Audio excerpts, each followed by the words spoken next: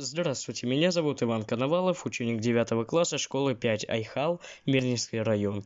Я представляю проект «Трансформация утилизированных вещей» как метод и прием технического конструкторского моделирования. Цель проекта – показать, как можно трансформировать утилизированные вещи путем различных методов и приемов на примере симулятора для вождения автомобиля, сабвуфера и бас-портфеля. Для достижения поставленной цели были решены задачи, результаты которых я сейчас продемонстрирую.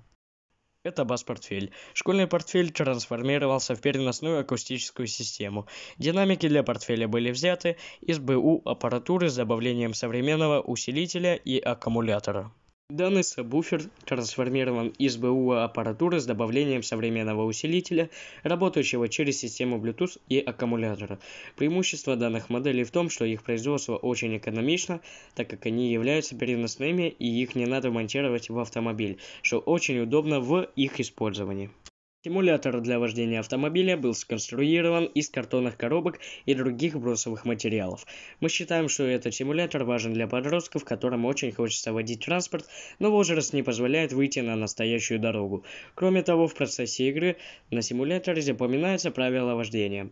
Сконструированный эконом-вариант симулятора может охватить большой процент подростков для изучения правил дорожного движения. Таким образом, мы повышаем безопасность на дорогах, что является актуальным на сегодняшний день.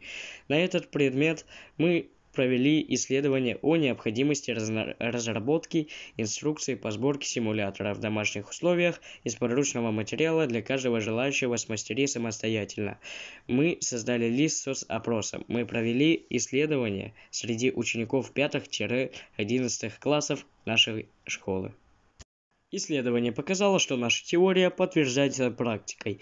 Большая часть подростков желает водить автомобиль уже сейчас. Школьники понимают о важности вождения автомобиля не только как об удобном средстве перемещения, но и при помощи трудных дорожно-транспортных ситуациях, а также о важности безопасности на дорогах.